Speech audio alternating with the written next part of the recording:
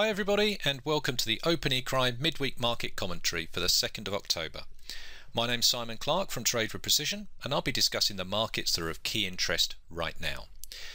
Now the first market I'm going to take a look at today here is dollar Swiss. Now this is the currency pair and we can start to take a look at some interesting levels that this market's sitting at right at the moment. So if we take a look at the monthly chart we can see here on the monthly chart we can see that this market's been in a downtrend for a while. We've broken through the parity level. It's come right the way down, tested 7,000, which became big, big move. And then we've price pulled back up, tested 1,000 again, and now we've started to roll over again. So we put in a lower high and now starting to test the current lows or the previous low. When we take a look at the weekly chart over here, we can see here on the weekly chart this price action in a bit more detail. So we can see how prices come down, tested 9,000 a number of times, and this level's actually been goes right the way back. It's uh, it's a very strong level on this currency pair. We put in a couple of lower highs now and lower lows, and price is coming right back down and testing 9,000. We've got our moving averages in the right order and lovely convergence on the indicators. So a couple of things that could happen here. We could actually um, consolidate underneath or con consolidate just on top of the 9000 level and make a, for a break below it. And if we do then we can see back here there's pretty much nothing in the way of price you know nothing no other historical support and resistance levels in the way of price coming back down and retesting the sort of 7000 level again but at the moment, um, we could actually expect to see a bit of a bounce up. Um, we've got 9,300 in here, which is also another support and resistance level It's been tested numerous times. So we could expect to see a bit of a push up and a retest around 9,300. So if we come down to the lower time frames, start to take a look at what potentially could happen here. So on the daily chart, we've got our trend. Everything's all of our moving averages in the right order. Got our lovely convergence here on the indicators. Price just come down and just tested this 9,000 level once here yesterday. So we could get this move back up, um, but even if we got to move back up to, you know, what we have here, 9,200, which also happens to cluster with some previous lows here and also the top of the sell zone, we could see, you know, potential move back down to retest 9,000 again. When we come down to the 240 chart, we can see on the 240 chart we've got a bit of divergences coming in here, which you know not really unexpected because of the you know the significance of this level. So there's some sort of buying momentum coming into the market around this level, and indeed you know when we start to take a look at this, we might even expect to see on these lower time frames there are also other levels that we could potentially see here as price coming up and retesting. So we've got another level here just above the sort of 9080 level which has been prior support and resistance again in the past. So some interesting price action here on dollar Swiss. Um, as I say, on this moment in time, I think we're a little way away from a, a push to the downside through 9,000, but you know anything can happen. And uh, looking for potential bounce you know if we do get a bounce off 9000 we could get a move back up to 9200 or even 9300 here on the weekly chart. Okay the next market I'm going to take a look at here is silver. Uh, this is the mini uh, mini silver futures contract the at YI contract. And if we take a look at the monthly chart, uh, monthly we can see that we've been in a nice downtrend for some time now, going back to 2011. We've broken underneath this uh, 2675 level, which has been tested numerous times. Broken decisively underneath there. We've now got our moving averages all in the right order, and we've got lovely convergence on the indicators. In fact, price has just actually had a pullback, and we just put in a lower high here. So we take a look at the weekly chart. Here on the weekly chart we can see this price action in a bit more detail. We can see that we've got lovely move to the downside and there's a couple of other levels in here that have been tested in price. So if I just zoom this up a little bit you can see the couple of levels here $20 level and the $18 level which have been prior support and resistance levels for some time.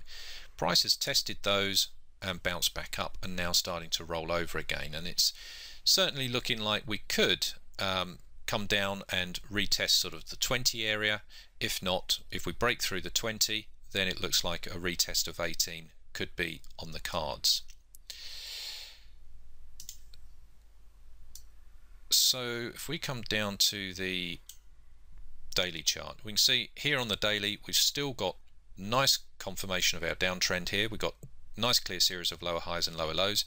Moving averages not quite in the right order here but we have got some lovely convergence here on the indicators. What I was looking at was if we come down to the 240 chart here and we can see this bit of sideways price action that we've got here um, what we've also got, whilst this has been consolidating sideways, we've got a level, this sort of 21, sort of 40 level, which has been tested a number of times. You can see how strong this sort of support and resistance level is. We've just broken through that and now price has just pulled back to that level. So what I like to do is to draw my fib study in here. So draw it from the high down to the low and we can see, well in actual fact from the high of this consolidation down to the low is a 50% uh, pullback to this this level. So we've now got a strong support and resistance level which happens to cluster with a 50% fib level and also happens to be right in the sell zone there of price as well. So you've got nice um, potential area there for price to be turning around, find resistance there and look for a move, a continuation of the move to the downside.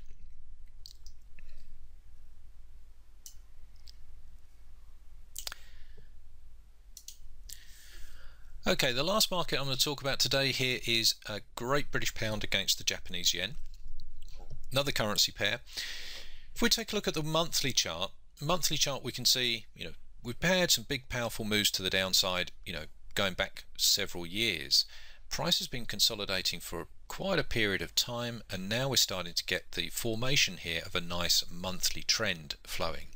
So we've got our moving averages in the right order. We've got some lovely buying momentum here with our MACD and our RSI.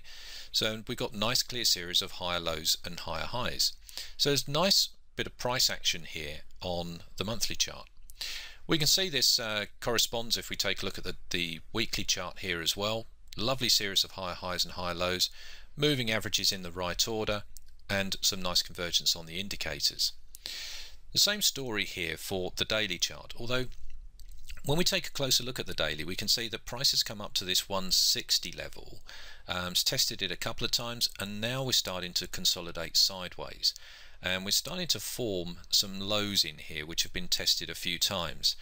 With that, we've also got the indicators here, the MACD and the RSI rolling over here, and it looks like a potential further move back down to the downside um, or a bit of a further pullback. And if we take a look up to the higher time frames, we can start to see, well, in actual fact, on the weekly chart, we are a little bit overextended from the moving averages. So maybe a pullback into the moving averages could be what's on the cards here.